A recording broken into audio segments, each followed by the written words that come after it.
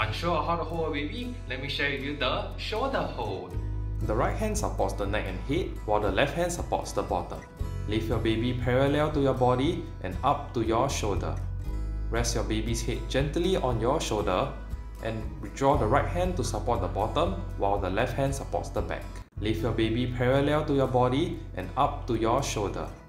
Rest your baby's head gently on your shoulder and withdraw the right hand to support the bottom while the left hand supports the back. Enjoy holding your baby.